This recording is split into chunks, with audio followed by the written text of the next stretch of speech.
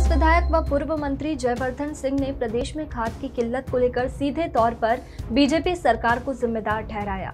विधायक जयवर्धन ने कहा कि भाजपा के दलाल खाद और यूरिया की कालाबाजारी करने में लगे हुए हैं। वहीं पंचायत चुनावों पर सवाल खड़े करते हुए जयवर्धन ने कहा कि पंचायत चुनाव को लेकर सरकार का अध्यादेश सही नहीं था।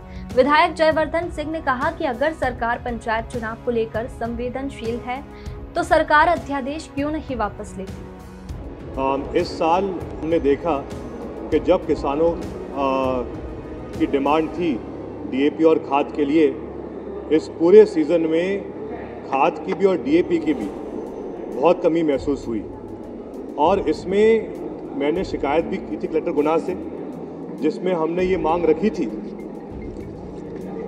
और ये हमने प्रमाण सहित सबूत दिए थे, जिसमें कि भाजपा के दलाल खाद के और डीएपी के कालाबाजारी कर रहे थे। उसके बाद कुछ दिन पहले जीतू पटवारी ने पर्सनली पूछा था, जिसमें सरकार ने स्वीकार किया है कि लक्ष्य यूरिया का था बीस लाख मेट्रिक टन लेकिन प्राप्त हुआ ग्यारह लाख मेट्रिक टन डीएपी का लक्ष्य था साढ़े आठ लाख मीट्रिक टन प्राप्त हुआ पाँच लाख चालीस हज़ार मेट्रिक टन जिससे कि स्पष्ट होता है कि जितना लक्ष्य था, जितनी डिमांड थी खाद यूरिया डीएपी की उतनी प्राप्ति नहीं हो पाई।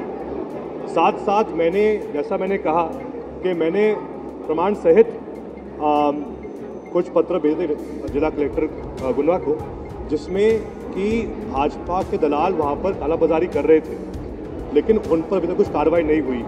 तो ये उसमें मूल प्रश्न था। देखिए मैं पुनः कह रहा हूँ कोविड अलग बात है लेकिन कम से कम जो ये बात सदन में कह रहे हैं कि नहीं, हम चुनाव नहीं होने देंगे आरक्षण के बिना। लेकिन ज़मीन पर क्यों नहीं हो पा रहा है ये? आज भी हर जनपद में, पूरे मध्य प्रदेश में ऐसा संदेश क्यों है कि चुनाव होगा? अगर चुनाव नहीं हो रहा होता तो आदेश पहुँच जाते, क्योंकि आखिर पंचायत चुनाव कराना एक स्टेट सब्जेक्ट है।